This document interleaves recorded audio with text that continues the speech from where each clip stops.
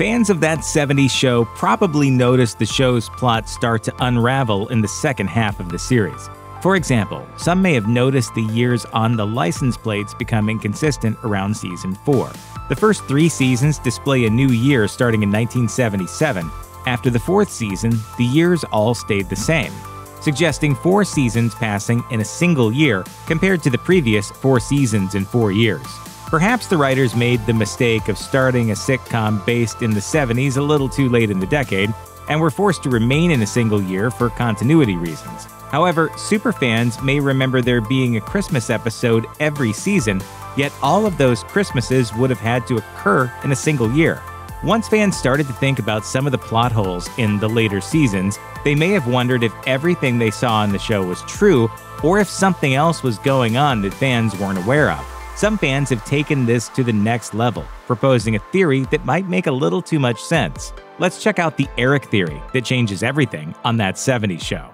In season 4, episode 15, Tornado Prom, Eric Forman goes to prom with his group of stoner friends, but he forgets to bring his girlfriend, Donna, who is stuck at the radio station where she works.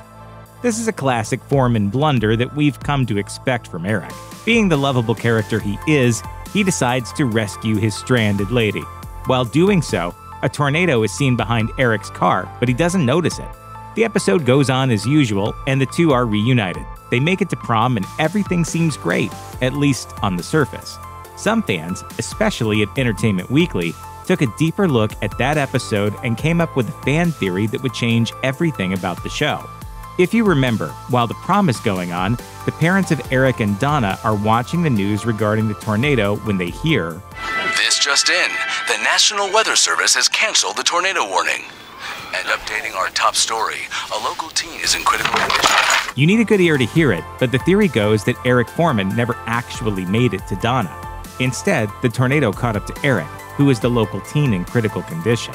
As a result, Eric falls into a coma this would explain many of the inconsistencies throughout the second half of the show. Let's say this was true.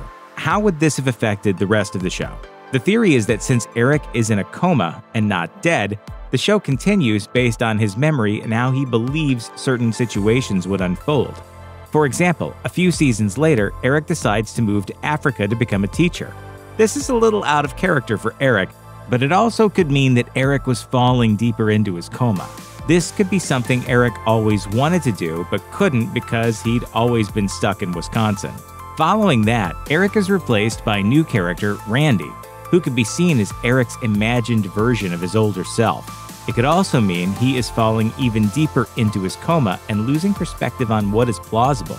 This idea is bolstered even further when Fez marries Jackie and Laurie on two separate occasions.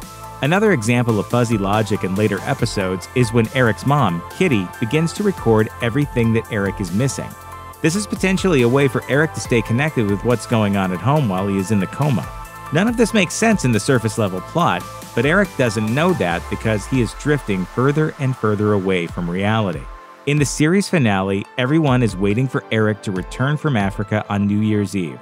He does so in the last few minutes of the show, and a warm hearted reunion at a familiar spot concludes the series. I wish there was just some way to take the edge off. Edge, you are officially off. Of course, fans weren't satisfied with this and had to work this event into their theory. Let's assume Eric was supposed to make a recovery on December 31st, 1979, when the show was supposed to end. The theory suggests that Eric doesn't make it back home, that he is still in a coma, and that this is his last goodbye to everyone. His memory allows for one last time to remember all of his friends and family back home. Then, when the series ends, that is when Eric allegedly dies. It's a dark theory, but when you think about it, it could make sense in the end. It's undeniable that there are several plot holes in the later seasons, and maybe this could be explained by something like the main character being struck by a tornado and falling into a coma for a year. Or maybe the writers just lost the plot. Perhaps we'll never know. Check out one of our newest videos right here. Plus, even more Looper videos about your favorite TV shows are coming soon. Subscribe to our YouTube channel and hit the bell so you don't miss a single one.